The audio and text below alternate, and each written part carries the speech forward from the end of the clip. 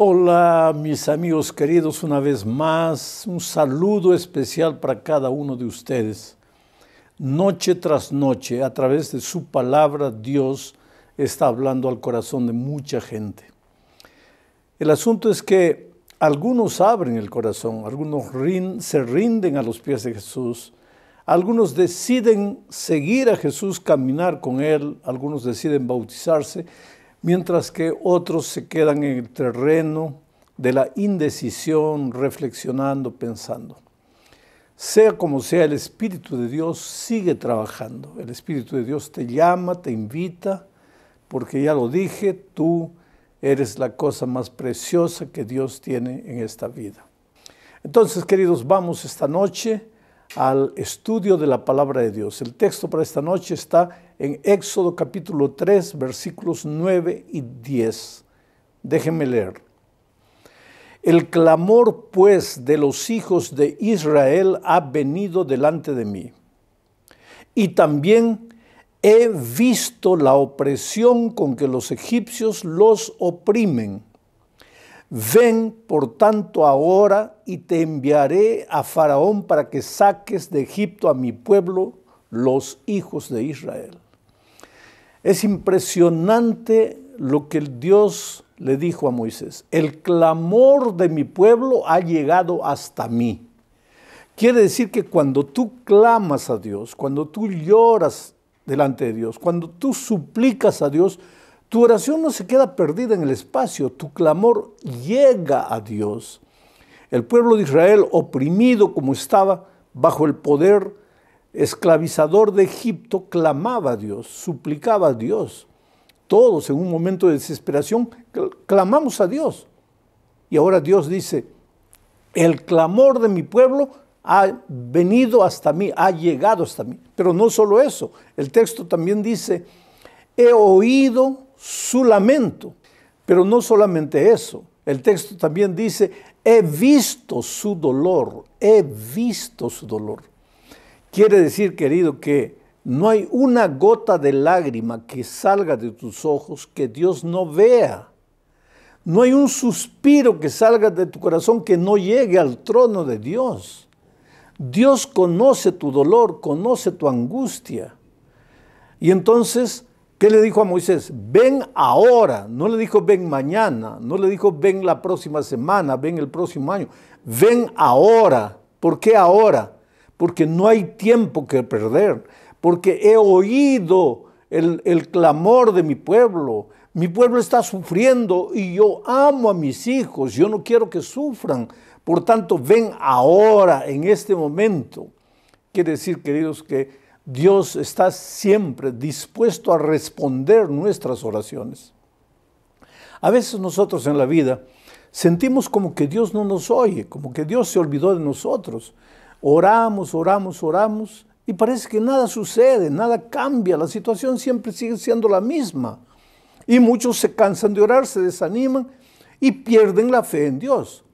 Pero cuando Dios aparentemente demora, hay que tener mucho cuidado en pensar que Dios se olvidó de nosotros. ¿Te acuerdas de Lázaro? Lázaro estaba enfermo. Y las hermanas de Lázaro enviaron emisarios, mensajeros a Jesús. ¿Podríamos decir que nuestras oraciones son nuestras mensajeras a Dios? ¿Que nuestras oraciones, nuestros clamores son nuestros emisarios a Dios para decirle lo que estamos sufriendo? Bueno, las hermanas de Lázaro mandaron emisarios a Jesús y le dijeron, Lázaro, aquel a quien tú amas está enfermo. Ah, Quiere decir que las personas a quien Dios ama también se enferman. Las personas a quien Dios ama también pasan por dificultades, también pierden el empleo, también pasan por momentos dolorosos. los emisarios le dijeron a Jesús, Lázaro, aquel a quien tú amas, está enfermo. Ahora, si Jesús amaba a Lázaro, porque Lázaro era un gran amigo de Jesús, cuando Jesús iba para Jerusalén, Generalmente se hospedaba en la ciudad de Betania, la ciudad de Lázaro, Marta y María, tres hermanos. Y Betania estaba a cinco kilómetros de la ciudad de Jerusalén. O sea, Jesús solo necesitaba menos de una hora de camino, llegaba ahí y se hospedaba en Betania. Lázaro era su amigo. Y ahora que Lázaro estaba enfermo, era lógico que Jesús debiera venir corriendo para ayudarlo, pero no vino. Y Lázaro no solo se enfermó, sino que murió. Y cuando murió, Jesús apareció. Tanto así que una de las hermanas de Lázaro le dijo a Jesús, pero Señor, ahora ya para qué? Ya murió, ya acabó todo, porque para nosotros la muerte parece que es el fin de todo. Pero queridos, Jesús no demoró porque no amase a Lázaro. Jesús no demoró porque no le importaba Lázaro. Jesús no demoró porque no le interesaba el clamor de Lázaro. Jesús demoró porque lo que las hermanas de Lázaro estaban pidiendo era apenas una curación. Pero Jesús tenía preparada para Lázaro una resurrección. O sea, lo que las hermanas de Lázaro pedían era poco. Jesús aparentemente demoró porque estaba preparando una cosa mucho más grande de la que ellas esperaban. Esta es una lección clave para nosotros. Dios está siempre dispuesto a atender nuestras oraciones, nuestros clamores. No hay una lágrima que derramemos que pase desadvertida para Dios. Entonces, si, Dios le dijo a Moisés, Moisés, ven ahora, ¿por qué cuando tú clamas no viene la respuesta ahora. Ah, porque tal vez Dios está preparando una bendición mucho más grande de la que tú esperas. Esta noche no voy a presentar muchos conceptos teóricos. Esta noche más bien me voy a detener a contar experiencias de la vida real que muestran que Dios siempre, siempre está dispuesto a escuchar el clamor de sus hijos y a responder la oración de sus hijos. Nosotros, querido, vivimos en un mundo de dificultades y de problemas. Muchos en este momento tienen un clamor que nace del corazón en el aspecto financiero, en la vida financiera. A veces, por más que te esfuerzas para que las cosas te salgan bien, no te salen bien. Entonces yo te voy a contar el milagro que Dios hizo en la vida financiera de un hombre. Yo estaba predicando en el estadio de la Portuguesa Santista, un equipo de fútbol en el Brasil. Y cuando salí de la predicación, mi carro estaba en la playa de estacionamiento, vi que un hombre venía corriendo atrás de mí. Y él me dijo, mire, usted dice que Dios nos ama, que Dios es capaz de hacer maravillas en la vida de todos, pero yo no sé si creer o no creer en lo que usted me dice, porque yo no soy miembro de su iglesia, yo no soy miembro de ninguna iglesia, yo no creo en Dios, o tal vez crea, pero nunca le he dado tiempo a Dios. He sido un hombre muy rico, he tenido mucho dinero. Me dice, me dijo, eh, aquí en San Paulo yo tuve una cadena de tiendas que venían, vendían neumáticos para carros. Yo tenía mucho dinero, tenía muchos empleados. Y pues cuando uno tiene dinero, ¿para qué Dios? Yo tuve la cantidad de mujeres que quise, fui infiel a mi familia. Por causa del dinero me volví orgulloso, prepotente, maltraté a una esposa, me divorcié, me casé con otra, la maltraté, me divorcié, me casé con tres mujeres, tuve hijos con las tres, maltraté a mis hijos. Pues yo me sentía un pequeño Dios porque tenía dinero. Y como tenía mucho dinero, me iba a Estados Unidos a jugar miles y miles de dólares ahí en los casinos de Las Vegas. Tenía dinero, pensaba que ese dinero me iba a durar para siempre pero hoy día estoy en la miseria, no tengo nada. Hoy día es mi cumpleaños, cumplo 60 años y en 60 años de vida no he hecho nada porque todo el dinero que acumulé lo perdí, lo malgasté, los desperdicié. Porque cuando vino una crisis financiera al país, por más que luché con uñas y dientes para salvar mi empresa, mi empresa se vino abajo Hoy día no tengo ni siquiera casa. Vivo de favor en los fondos de la casa de un amigo. Y vine esta noche porque escuché un anuncio en la radio diciendo que Dios es capaz de escuchar la oración de sus hijos y capaz de hacer maravillas en la vida de los que creen. Y yo he venido. Pero yo le pregunto, ¿qué es lo que Dios puede hacer en mi vida? Entonces yo le hice una pregunta. Esta noche en el mensaje yo hice un llamado. Yo dije, ¿cuántos quieren abrir el corazón a Jesús, venir, entregarle la vida a Jesús? Tú te levantaste, tú aceptaste el llamado, tú aceptaste, abriste el corazón a Jesús. Y él me dijo, sí, pastor, yo le entregué mi vida a Jesús, pero quiero decirle ahora, ¿y qué es lo que Jesús va a hacer por mí ahora? Dígame, ¿qué es lo que Él va a hacer por mí? Le dije, no sé, hijo, yo no sé lo que Dios va a hacer por ti, pero una cosa sé, que si tú le has entregado el corazón a Dios, Dios en cinco años te puede devolver lo que tú no has hecho en 60 años. Pero ahora mira, yo tengo que salir, voy a hacer una oración contigo. Y oré con él. Y pasaron muchos años. Uno, dos, tres, cuatro, cinco años. Yo estaba un día en la ciudad de Orlando haciendo una campaña evangelística en el centro de convenciones cuando terminé de predicar salí por la parte trasera del auditorio y estaba caminando al hotel, porque estaba el hotel a 100 metros del centro de convenciones. Y cuando estoy caminando para allá, siento que un hombre alto, fornido, corre atrás de mí.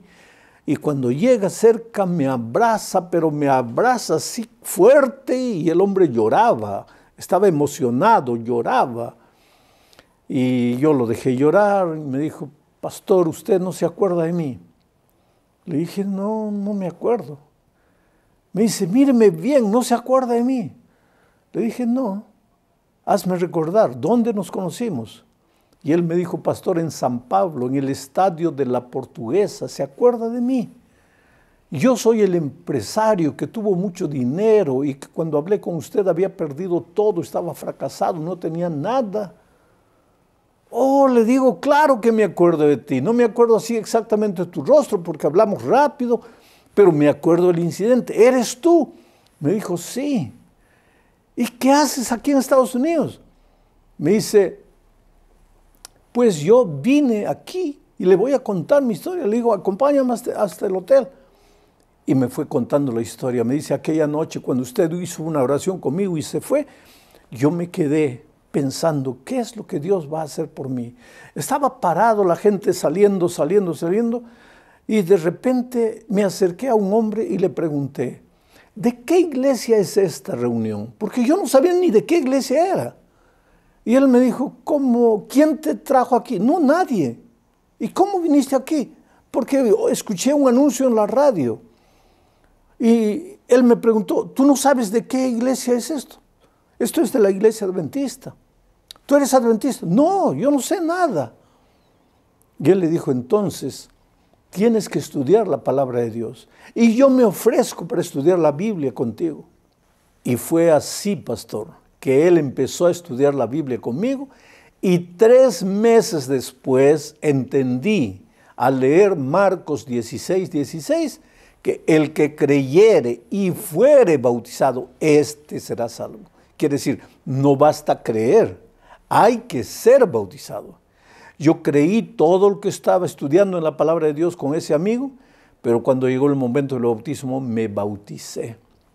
Pero mi vida no cambiaba, yo seguía sin empleo, seguía medio enfermo, seguía viviendo ahí en los fondos de la casa de aquel amigo, no tenía dinero, pasando necesidad, pero en mi corazón ahora había esperanza. Yo tenía la seguridad de que Dios iba a hacer un milagro en mi vida. Y yo oraba todos los días, Señor, ayúdame, Señor, ábreme las puertas, ábreme los ojos. Yo no sé qué es lo que debo hacer. He gastado todo en mi vida, ya tengo 60 años de edad, un hombre con mi edad, ¿qué es lo que va a hacer?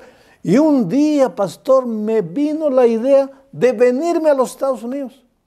Y como yo tenía pasaporte, porque cuando tenía dinero me iba a Las Vegas a jugar, como tenía la visa, me vine aquí. Y aquí, pastor, me vine, llegué a este país con 200 dólares en el bolsillo. ¿Para qué alcanza 200 dólares en los Estados Unidos? En menos de una semana acabé el dinero. Pastor, literalmente comí basura para poder sobrevivir. Literalmente comí basura.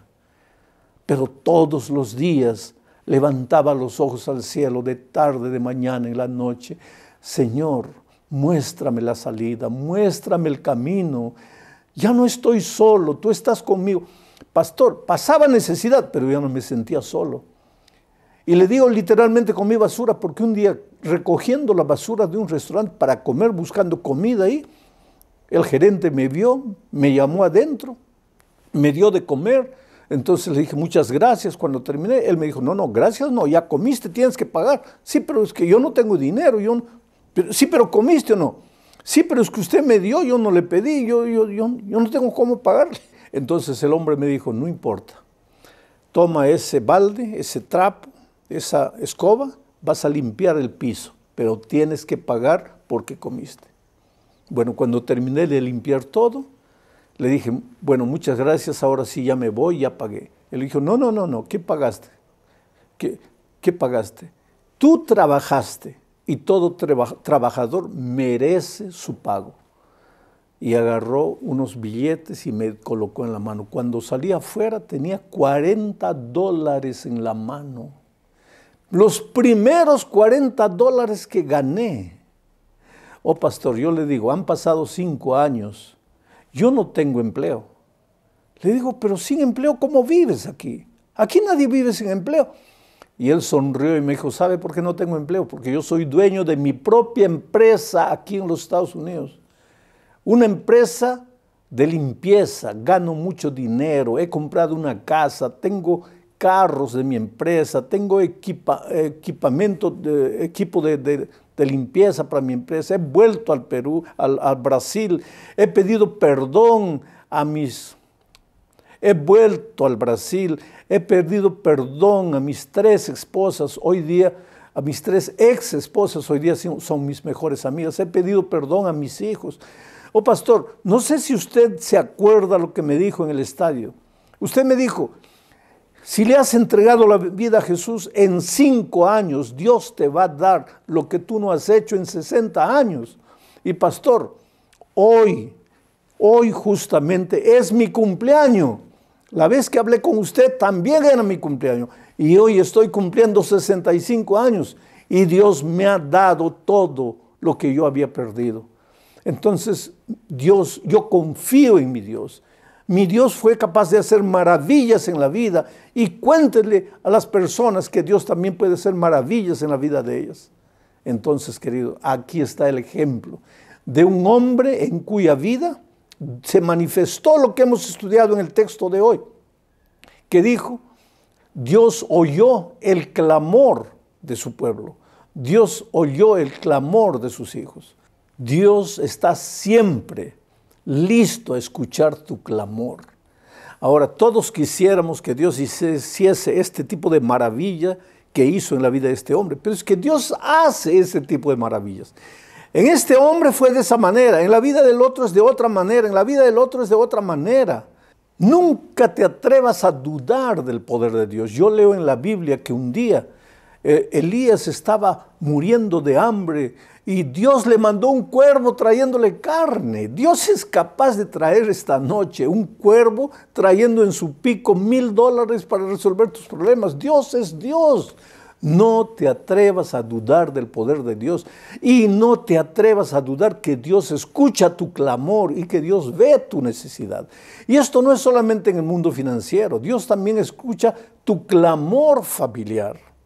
Te voy a contar otra historia. Estaba predicando en un estadio también en Brasil hace algunos años atrás y yo no sabía que Dios esa semana estaba haciendo maravillas. Esta misma semana Dios está haciendo milagros y maravillas en todos los rincones, en todos los estados de este grande país de México. Allá en Brasil, un año después, me enteré de la conversión de un hombre rico, ingeniero de dibujos de la Fiat Automóviles. Los nuevos modelos de carros Fiat nacían en la cabeza de este hombre.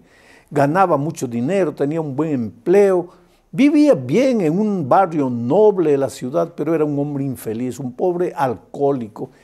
Él decía que no era alcohólico, él decía que era un bebedor social. La verdad es que no había que día que no, no bebía. Él, él bebía de mañana, en la noche Nunca bebía de caerse en el suelo, pero bebía. Llegaba ebrio a la casa, agredía físicamente a la esposa, agredía eh, moralmente, emocionalmente a la esposa, a los hijos. Era un hombre duro.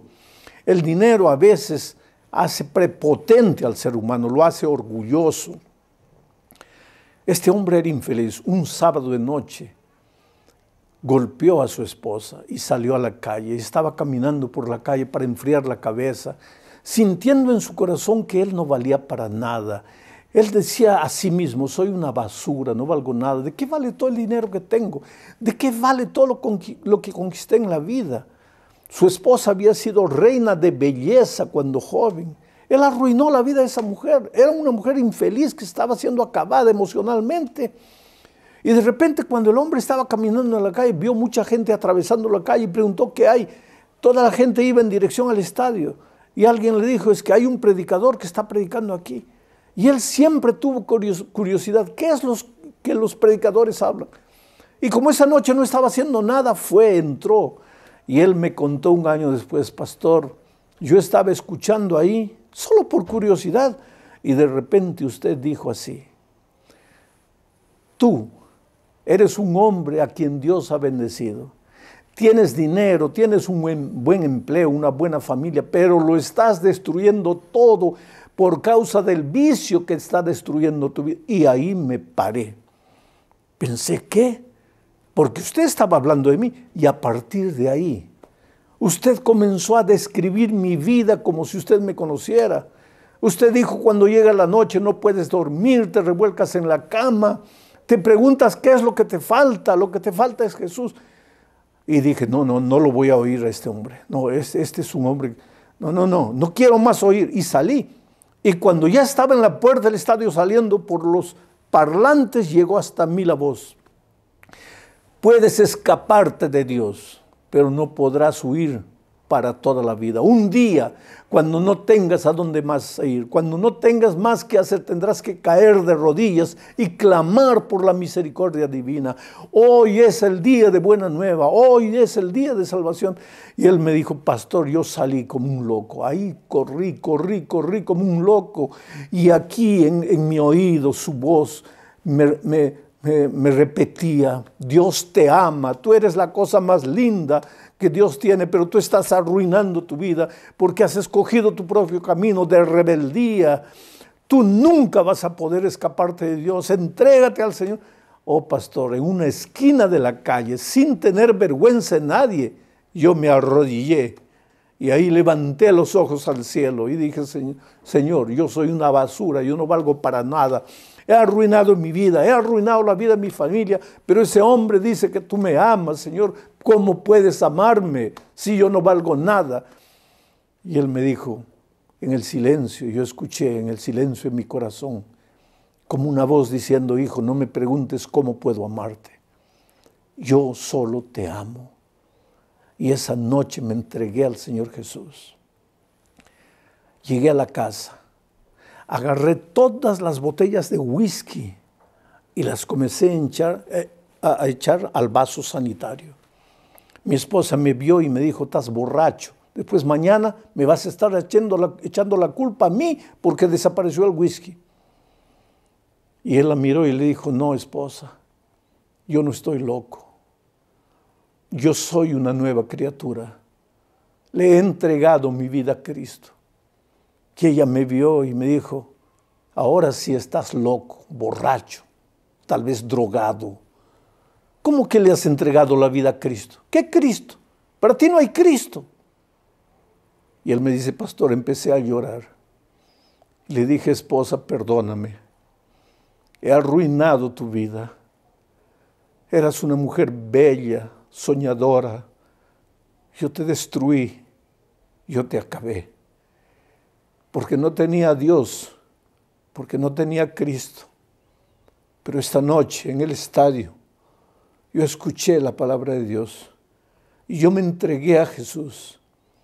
Y mañana quiero volver al estadio y quisiera que tú me acompañes. Y al día siguiente, él y la esposa fueron. Y al otro día volvieron. Y al otro día volvieron. Y volvieron la semana toda.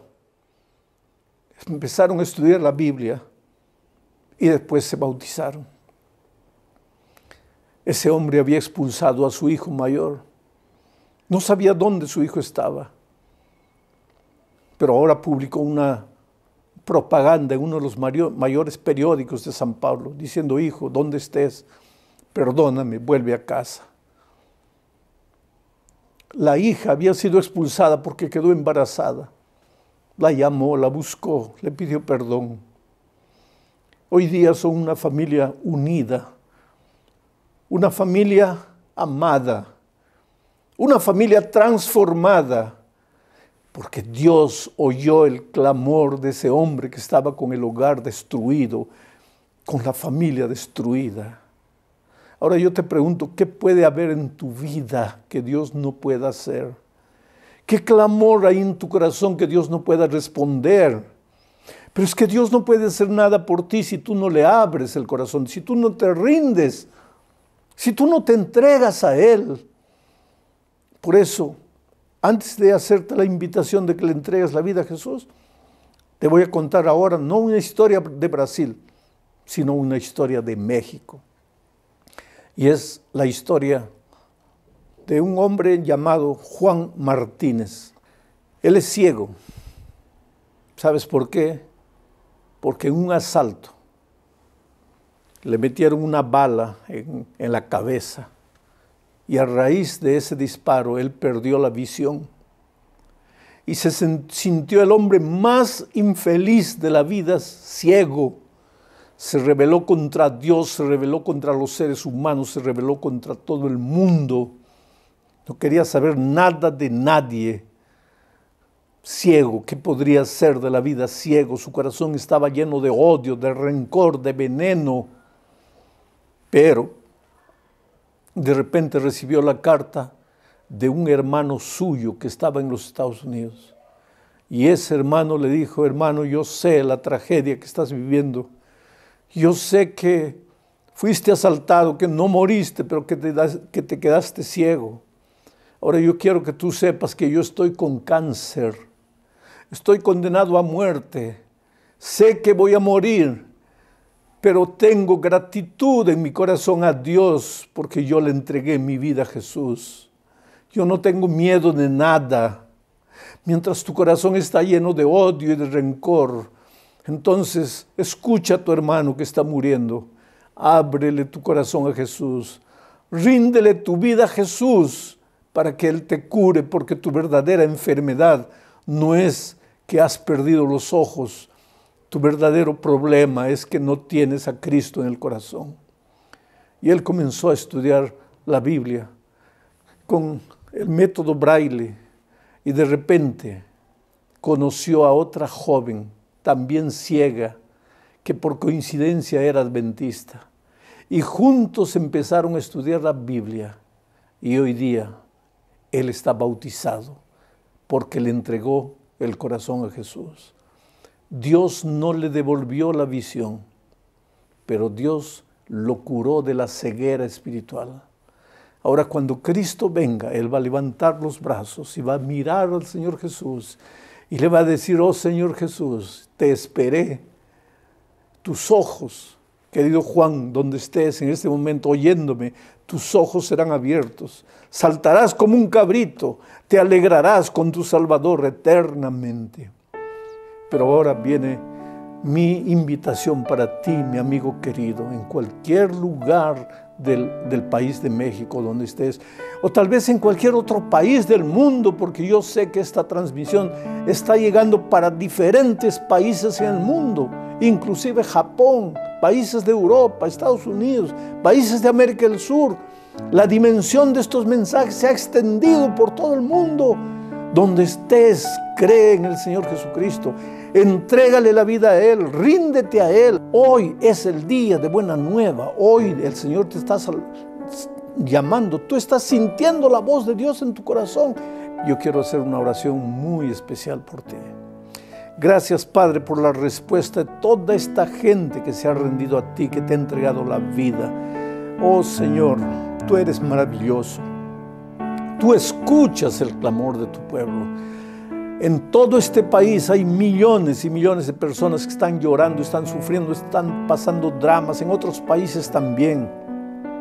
Y esta noche han entendido que tú escuchas el clamor, que tú ves las lágrimas y que tú estás dispuesto a responder inmediatamente. Entonces, Señor, por favor, yo te he pedido a lo largo de mi vida muchas veces por mí y he visto tu mano poderosa respondiéndome, pero en este momento yo no te suplico nada por mí, yo te suplico por tanta gente que en este momento está depositando su confianza en esta oración, que está clamando a ti, que está suplicándote a veces con lágrimas. Señor, extiende tu mano, toca esa vida y bendícelos en el nombre de Jesucristo.